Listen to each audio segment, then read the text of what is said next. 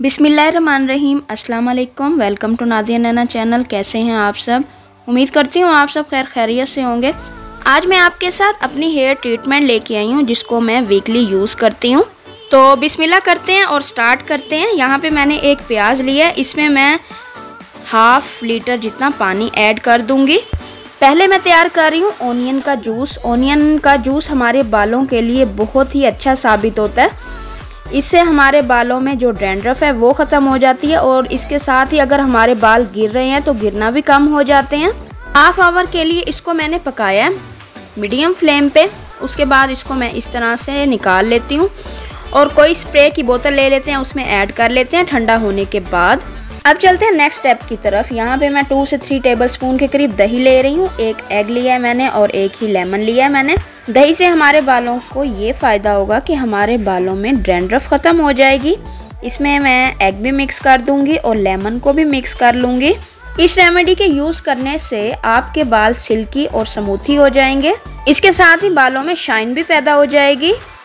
इसके साथ ही मैं थोड़ा सा आपको ये भी बताना चाहूँगी, अगर हम डेली रूसीन रूसीन डेली रूटीन में अपने बालों को गीला ना करें तो इससे भी हमारे बालों में शाइन पैदा होती है। अगर हम डेली रूटीन में अपने बालों को गीला करेंगे तो इसकी शाइन ख़त्म हो जाएगी और बाल टूटना स्टार्ट हो जाएँगे। पूरे डे में अपने बालों में तीन बार कॉम ज़रूर करें। इससे ब्लड सर्कुलेशन कंटिन्यू रहेगी। इसके बाद मैंने इसमें मिक्स ऑयल ऐड किया थ्री टेबल स्पून जितना आप इसमें मिक्स ऑयल ऐड कर लें। मिक्स ऑयल की वीडियो भी मैंने आप लोगों के साथ शेयर की हुई है। अब हमारा थिक सा मास्क हेयर्स के लिए तैयार है। इससे पहले हम अप्लाई करेंगे ओनियन जूस जिसको मैंने तैयार किया था।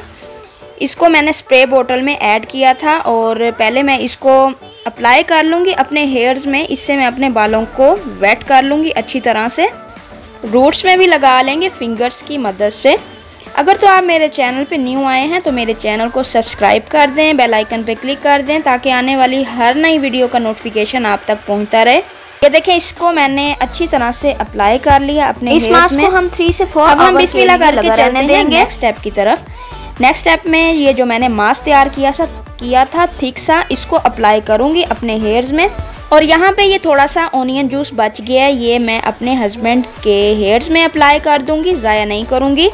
इसके साथ ही थिक मास्क भी मैंने अपने हेयर्स में अप्लाई कर लिया उम्मीद करूँगी आप ये वीडियो ज़रूर पसंद करेंगे और आगे शेयर करेंगे। मुझे दुआओं में याद रखिएगा, अपना ख्याल रखिएगा। मिलते हैं नेक्स्ट वीडियो में। अल्लाह हाफिज़।